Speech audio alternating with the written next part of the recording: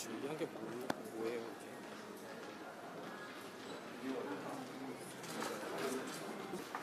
멸치인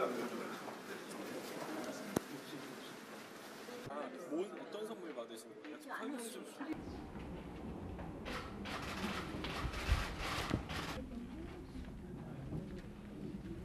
그렇습니다.